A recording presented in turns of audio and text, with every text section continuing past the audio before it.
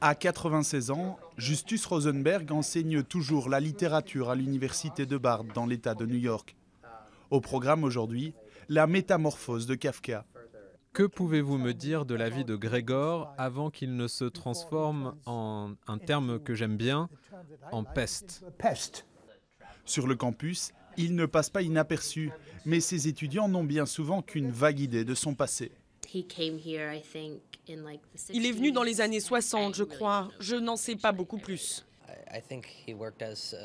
Si je ne me trompe pas, il a travaillé comme messager ou conseiller pour les forces de résistance en France.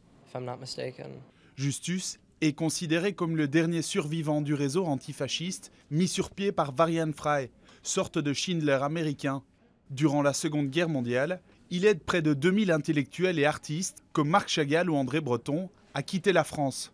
Il entre ensuite dans la résistance. Je vous fais commandeur dans l'ordre national de la Légion d'honneur. À New York, Justus reçoit enfin les honneurs de la République française. Originaire de Gdansk, puis étudiant à la Sorbonne, le vieil homme n'a rien oublié de son français, ni des gens qui l'ont aidé pendant la guerre, comme quand il est interné dans le camp nazi de Vénissieux. Je me souviens par exemple d'une jeune, jeune infirmière française qui m'a aidé à s'échapper du camp où je devais être envoyé à Auschwitz. Malheureusement, je ne me souviens plus de son nom. Un héros qui parle avec modestie de ceux qu'il a sauvés du nazisme.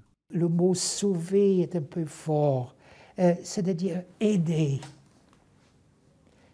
Il les a aidés à obtenir euh, euh, des passeports, à obtenir des visas.